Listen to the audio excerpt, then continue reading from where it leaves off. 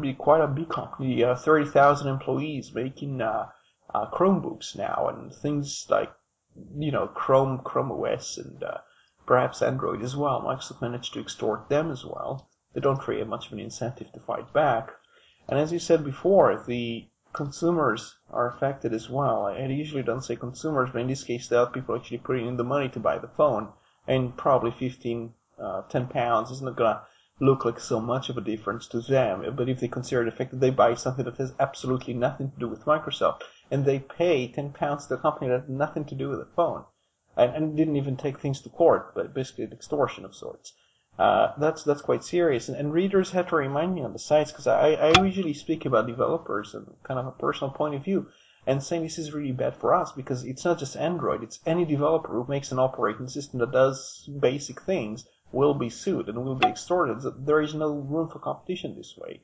Not not only does it take a lot of effort to write an operating system, but then they will be coming in taxing you as soon as you're successful.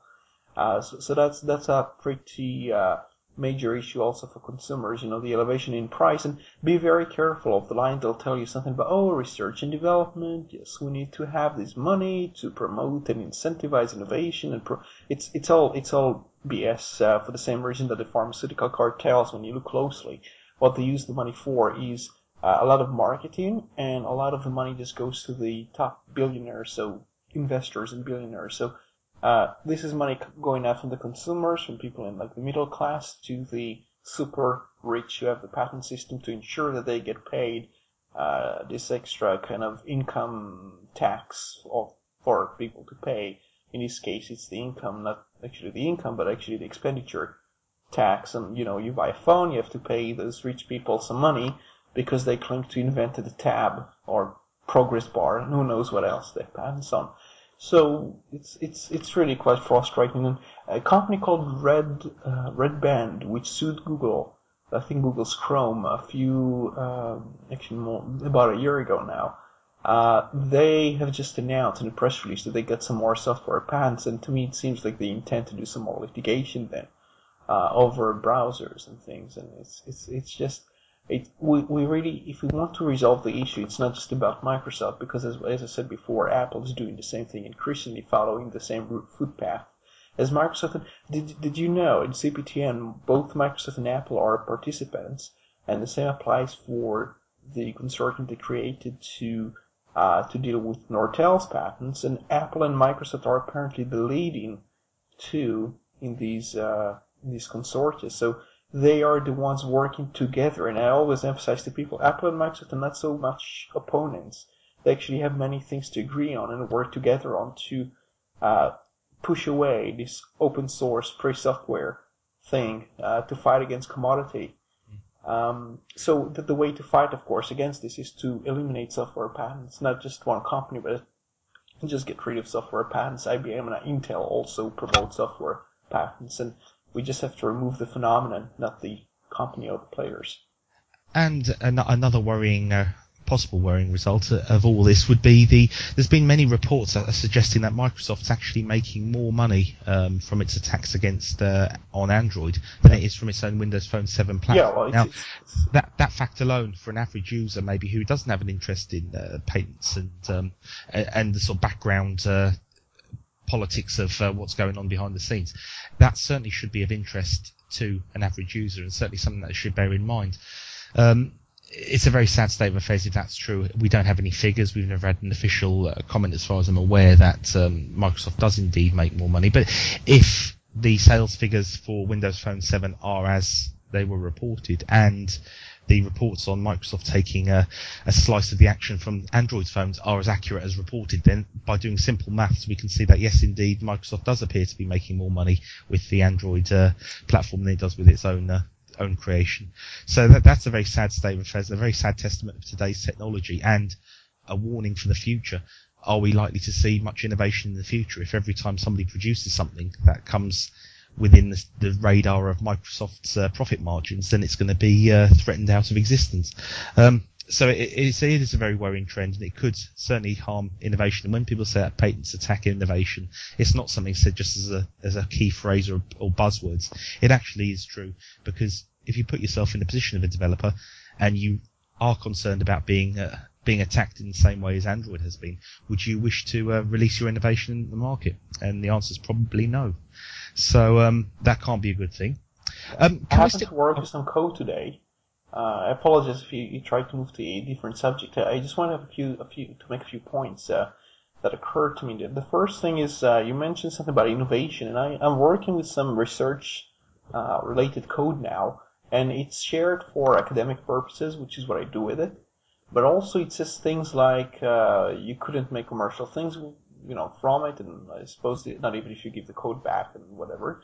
But it actually says something like uh, the we have patents pending on this code, and it says it in the top of the code. So basically, like, don't try to replicate this code or to use any ideas expressed in the code because we have patents on it.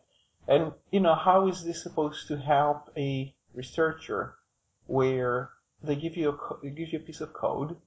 They say, well, you couldn't do many things with it. You can play with it, and if you even think about doing something that does something similar conceptually, we have patents on it, so we have a monopoly on it.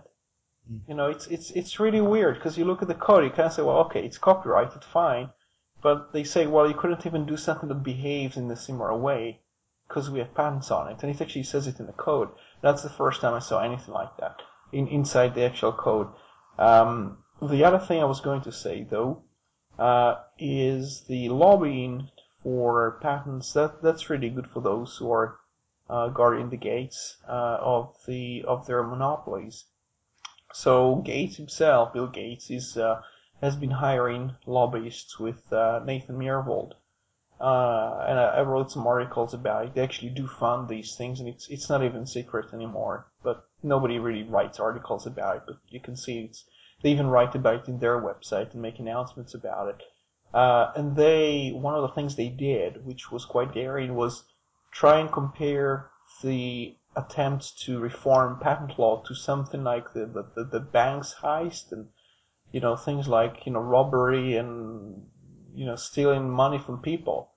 You know, and this is just for patent reform, you know, the things we're talking about now and being unconstitutional and so on and so forth. And and th- this is coming from people like Gates and Myhrvold. They they just want to have a new tax, a new Windows tax, or a new Microsoft tax, or a new, you know, them their tax, whatever it is, to to make sure they get more money every time a person buys a phone. Uh, so that's that's obviously not good. And uh, it's nice to always remember as well that, um, like I say, if if it is true that Microsoft is making more money from a from a Linux uh, from Android, then um, we should refer back to Steve Ballmer's comments, which were alleged to be made. I think it was around early 2000 or maybe a little bit before, where he likened uh, Linux to a cancer. So apparently now this cancer is making uh, Microsoft quite a bit of money, and maybe he would like to apologise for uh, for likening it to cancer and maybe uh, take back what he said all those years ago. Um, it seems a little ironic that uh, what he, he, condemned at the time now they seem to be relying upon um, as a revenue stream. Um, if we can stay with Microsoft though for a minute, there's a there was a bit of news today that I briefly caught. I don't need to read the fine details of it because I think we can all guess by the, the title what it's going to be about. Um, Skype and Facebook integration. Um, I was reading a few articles and uh, a few bits and pieces on that. Very interesting, not unexpected, and uh, probably a shot across the bow for um, Google, who are just uh, teetering on the edge of releasing their uh, Google Plus, which is uh, shrouded in mystery, certainly for me, because I still haven't got my beta invitation yet. Um, so I don't know, Roy, if you have any comments on the on the Facebook. Yeah, well, that's just the Microsoft thing. The whole thing is just, just the gang of Microsoft now grouping together. So uh, I think we've explained it before, and I think it's well established also in the uh, Law community that Facebook is clearly on uh, Microsoft's side as far as the, the camps. It's using FOSS only for servers, and the reason for doing so is because that's the only thing that's viable to use on the internet. And even Microsoft uses some Linux and some servers which ones, but uh, you know, it's promoting Silverlight and it's giving Microsoft access to all the data. Did you know that? Yeah, well, Microsoft is share, shareholders, aren't they? They've got a, quite a bit of stock no, in. No, no, no I'm, referring specifically to when you're using Facebook and you give them data, like even mm-hmm. private yeah. data, mm-hmm. they share it with certain advertisers and they also share it with Microsoft. Yeah. Uh, no, I, I, was just sorry. I was just making it. I, I assumed that Microsoft did have a, a, big stake in Facebook anyway, and that would be for me a given yeah. anyway. I mean, I personally don't use Facebook. I didn't actually spend much time on it. Uh, sorry, much money on it uh, way back in the day. So they just like took 5%. And uh, what hypothesis was it was supposed to deter